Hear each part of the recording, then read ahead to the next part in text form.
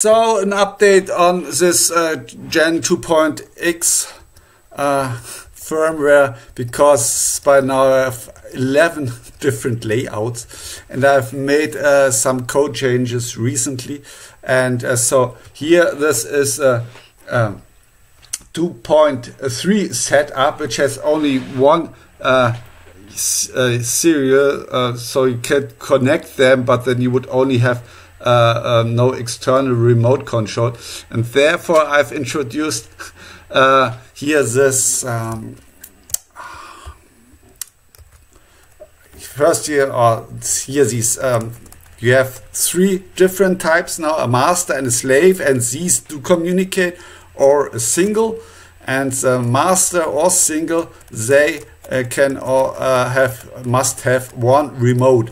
And the remote dummy is what used to be the, the test speed which is no input just forward backward. And then the UART uh, was uh, usual. And here's the UART bus. It's really you can, can connect multiple boards up to 250 50 at least by software to this bus and that's because uh, it's only the, the ESP32 here now um, starting to the command. And so let's look at the Arduino code. Uh, here you have this hover send uh, to the left with the, I, with the ID slave ID 1 and you have to wait uh, 10 milliseconds because instantly the other one uh, the hoverboard once received this data sends back. So all uh, the hoverboards join the same um, R, uh, TX to RX so the ESP32RX is connected. You can see this here.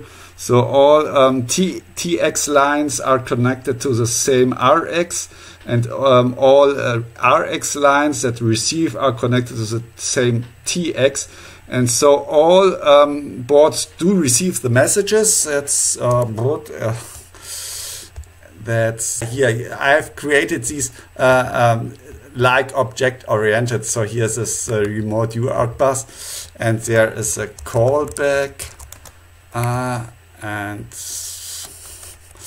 you see here if the slave ID is uh, the one that this the firmware was compiled for, then uh, the data is used, otherwise it gets discarded and then you immediately answer the master.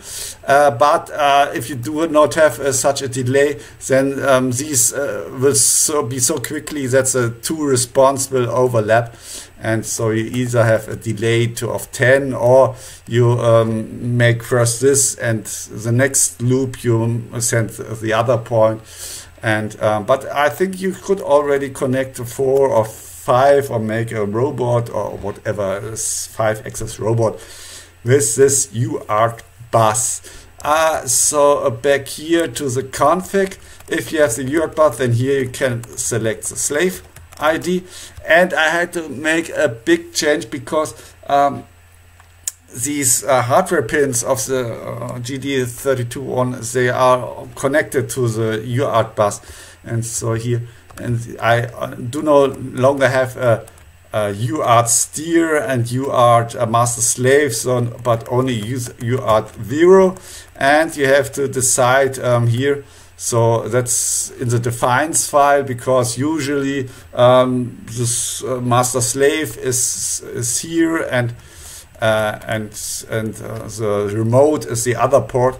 But as this does only have one, so if you if you here uh, you see now you have to decide that this uh, no, 0 is for the remote and therefore you uh, could not, um, if you change here this to master let's say and then you would of course have to choose a dummy because you do not have a remote and, and then you would have to go in the uh, defines and also here uh, select uh, don't have uh, found it's, it's, I cannot really auto detect it because as I said here these uh, pins 6 and 7 this is always uh, related to the UART 0 and, and, the, and these uh, for example uh,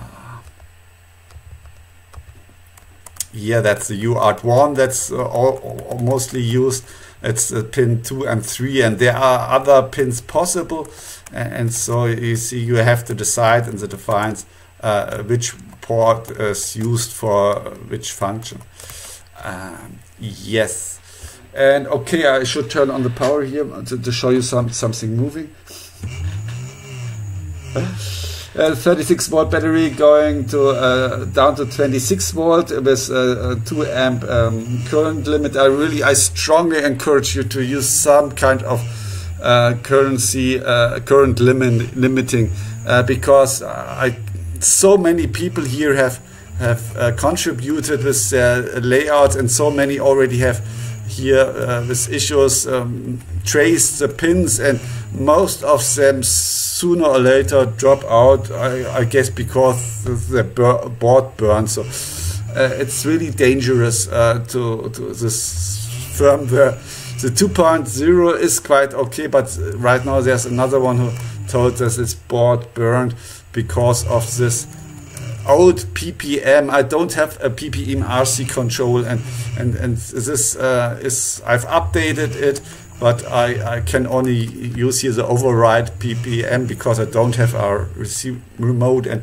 This also only works with Arduino and not with ESP32 because here these uh, registers for the for the timers and interrupts. This is Arduino specific. Uh, back to the test speed. Let's see. Uh, okay, this is not in the window.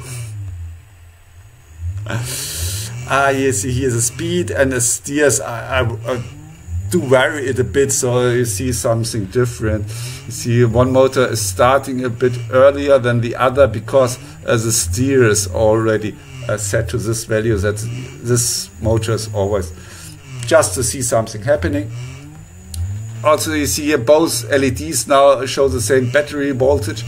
Uh, that's because both are running at single mode and, and so um, I would also need uh, to add uh, here in the hover serial uh, is the command is here if you select this uh, UART bus then you have a slave ID and a speed and there should also be a uh, bit bit register to set the LEDs or something like that. But I'm not really that. Um, you see, people always come with new boards, and so I'm always constantly stuck to this um, old uh, non-FOC because uh, here this uh, where is it? Uh, here's a simple over with uh, sim it's already running, and I think it's using these. Uh, uh, these pins is, is, is used uh, can also be used as I2C and here my code is already running with I2C uh, so you could also connect uh, multiple uh, boards to this. And this uh, simple FOC already has something like constant speed and torque and position to for servo. So it's far advanced it's far more silent far more efficient. And so I really would go back to uh, to to this uh, continue this firmware, but I constantly need to update here the code because people coming with new boards. Uh, and right now it's a bit difficult because the only test setup that I have is here this uh, with only one uh, serial port. So I would like to uh, someone with a 2.0 who really has these. I've not it, it, does compile and so it should work, but I have never tested uh, a board you really have a master slave communication with one serial port and uh, then a single uh, UART to, to an ESP32 or Arduino. So it would be nice if someone uh, from a 2.0, this is also working. A 2.1 should also work. So let's go back to the config uh, here. So the 2.0 that's the original the 2.1 i never tested but the fork that i built on was a 2.1 so this should also work. 2.2 was also spinning but 2.3 now there are two people uh, being active so with me there are three. So let's turn on here So this is the one I just showed you. And then there's also here the, the 2.7. This is a guy, he, he really made uh, another uh, processor working. And then you have here upwards, you have to choose between the two different architectures. And he was also very fun. I think he was the one who also uh, uh, completely uh, his job implemented this. Uh, it's another um, RC um, protocol that a little device um, that transforms the uh, RC remote to to UART, so you could ca can connect this one, but it's a different protocol, and, and it's therefore he made this. Uh, I, did port it here to my remote structure, but um, he never really tested then my code, but uh, was happy with this code, but this was um, confusing with, with the main code, and so I started here these different remotes uh, so yeah, there could be a remote ADC or a remote PVM, a, re remote PPM, and right now you see there's a remote UART um, and and this three UART um, serial communication remotes and the one dummy. And yeah, that's it. So if you have, um, you see, I just can show you here again the, the configs. Uh, there are already one uh, seven seven different layouts that um, we have uh, already uh, traced uh, uh, nearly 90% of, of all the pins and and which mostly spin but only really um, these two that I would say okay they they can be used. This is here this 2.3 and the 2.0 2.1 as I said I've never seen a 2.1 so I can only assume that it was working uh, and, and but uh, the 2.2 I also have a 2.2 and so I might uh, already a test set up so I also might test this latest software with a 2.2 and then it would be ready.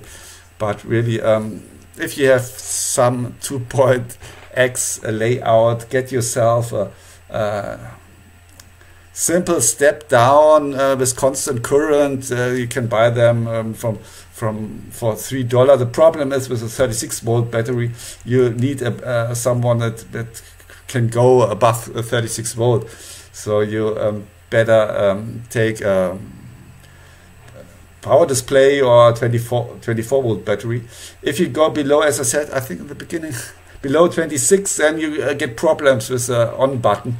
Uh, because there's a resistor divider and you, you need, as I seen uh, something like 26 volt for the boards to really detect the, the on-off button.